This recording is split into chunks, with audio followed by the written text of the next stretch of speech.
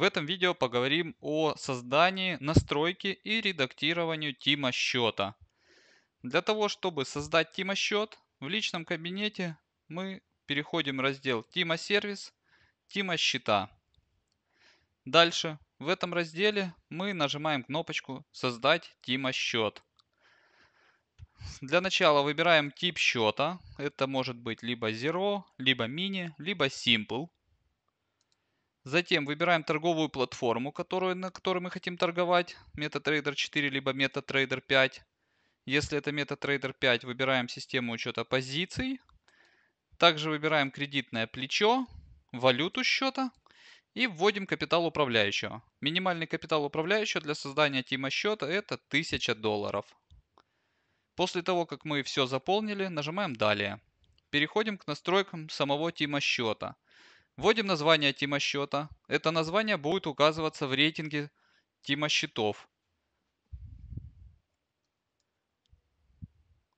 После того, как ввели название, выбираем «Показывать рейтинги управляющих», либо его скрыть.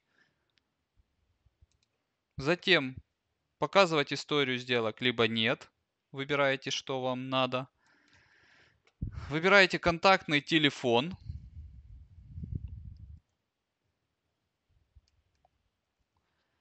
Также можете к этому контактному номеру добавить мессенджеры какие-либо, если они есть, и контактный email. Это обязательные параметры, так как чтобы инвестора могли иметь прямую связь со своим управляющим.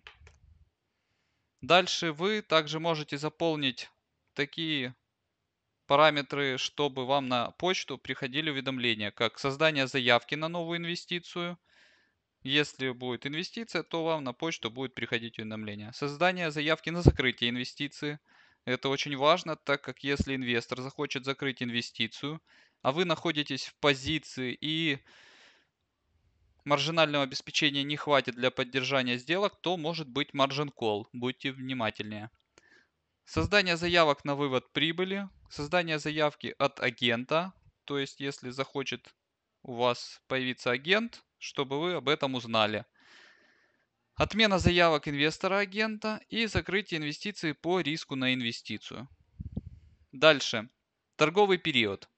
Торговый период вы выбираете и согласно данного торгового периода будет происходить распределение прибыли. То есть, если у вас стоит одна неделя, то каждую субботу будет происходить распределение прибыли по вашему тима счету и также по вашим инвесторам. Если две недели, то первое распределение происходит в первую субботу и затем через каждую субботу будет происходить распределение прибыли. Один месяц – это значит, что каждого первого числа месяца у вас будет распределяться прибыль между вами, инвесторами, ну и вашими средствами управляющего. Два месяца, соответственно, это первого числа следующего месяца, и затем через каждый месяц будет первого числа распределяться прибыль. Три месяца аналогично, и один год точно так же. Дальше, время исполнения заявок. Это в это время будет прикрепляться, открепляться инвестиции. Также в это время будет происходить и распределение прибыли. То есть, если у вас стоит один месяц, то каждого первого числа в это время будет распределяться ваша прибыль по инвестициям и по средствам управляющего. Это же время у вас будут прикрепляться и открепляться заявки на инвестицию. То есть, если инвестор инвестирует, то условно вы выбираете 12 часов дня, ровно в полдень у вас будут прикрепляться его средства на ваш счет Тима.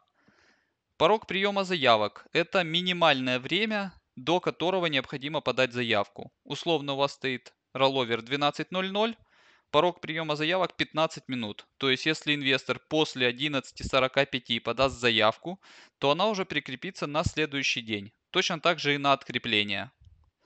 Далее, подтверждать инвестицию вручную вы можете поставить галочку, чтобы все инвестиции у вас подтверждались а, вручную, новые. Реинвестирование прибыли. Этот параметр касается средств управляющего.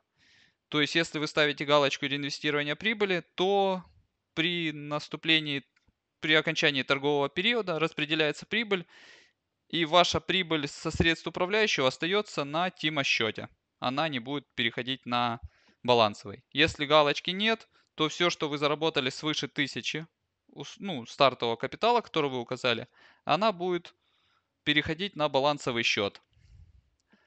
Также есть параметр запретить прием инвестиций. То есть инвестора не смогут в, на ваш Тима счет добавлять инвестиции.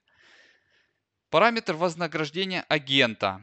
Этот параметр вы распределяете между собой и агентом. Условно, у вас добавился агент, у вас стоит параметр, допустим, 10%. Также у вас по инвестициям стоит распределение прибыли между вами и инвестором 50 на 50. Пришел к вам инвестор по какой-то агентской ссылке. Прошел торговый период. Распределяется прибыль между вами и инвестором 50 на 50. Условно вы за этот торговый период наторговали инвестору 100 долларов. Между вами и инвестором распределяется прибыль 50 долларов вам, 50 долларов инвестору. Но если он пришел по агентской ссылке, 10% от этих 50 долларов с, ваших, с вашего дохода, как управляющего, передается агенту. То есть вы получите 45 долларов и 5 долларов агент. Также вы добавляете описание на русском о своей тима стратегии, о своей торговой стратегии и все, что надо знать инвесторам, и описание на английском. После того, как вы все заполнили, нажимаете «Далее». Сейчас один параметр пропустили.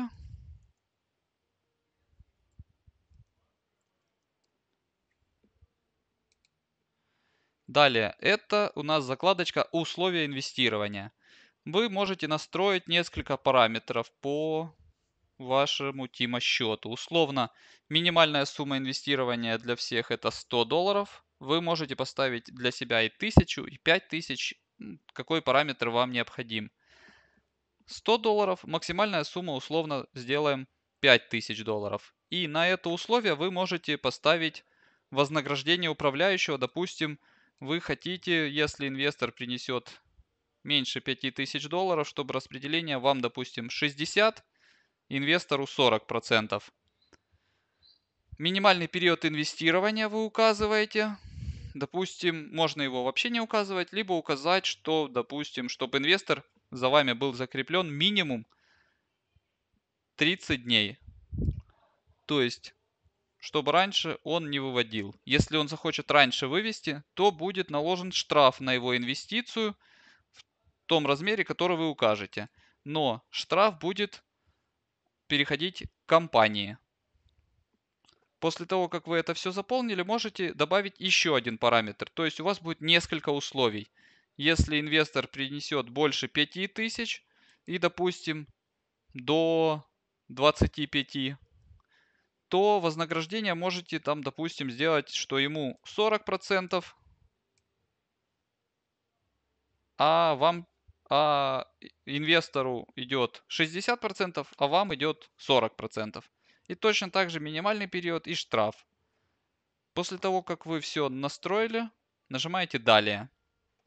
Дальше обязательным условием по тима-счету является риск-менеджер.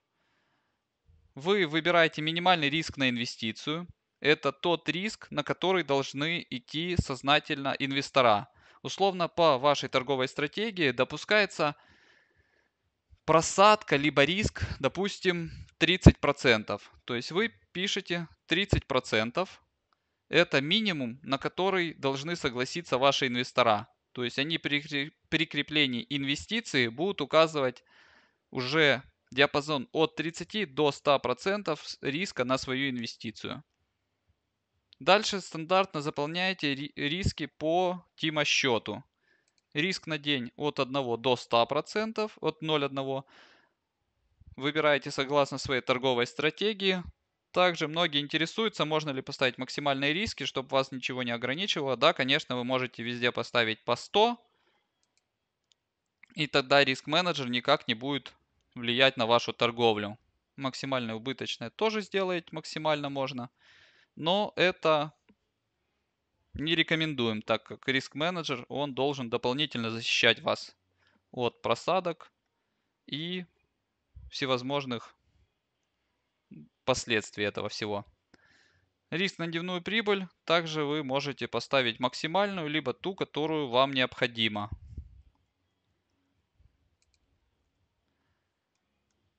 Справа поле, напоминаю, это для того, чтобы заблокировать определенные инструменты. Если вы собираетесь торговать всеми инструментами, не надо выбирать, выбрать все. Вы тогда их заблокируете.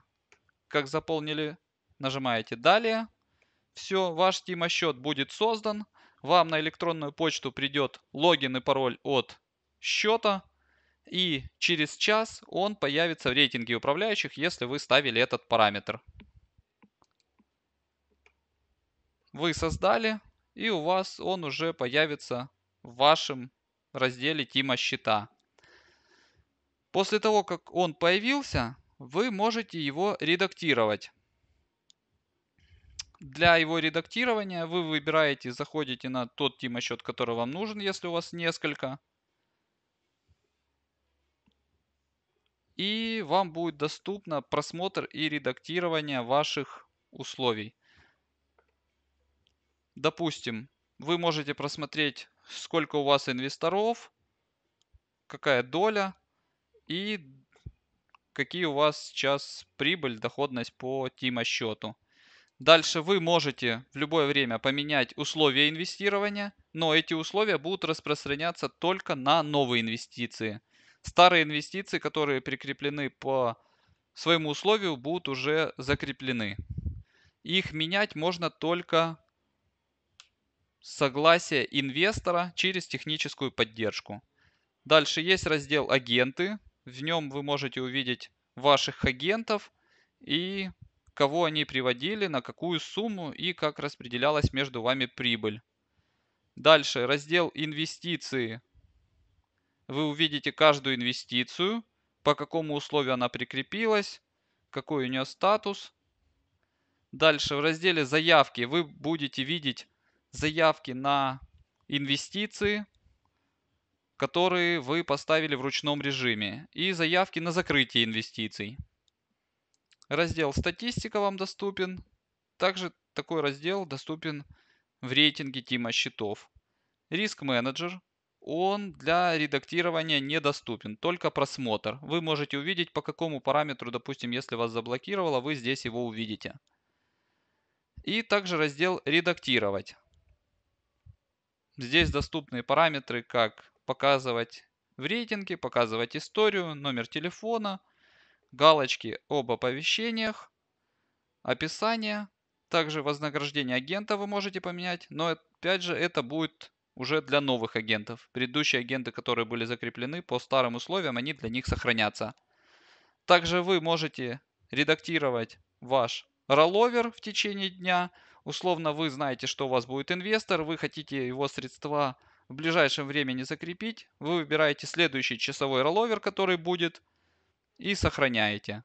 Обратите внимание, чтобы был порог приема соответствовал этому, чтобы с расчетом на это. Сохраняете. И, соответственно, можно закрыть им счет.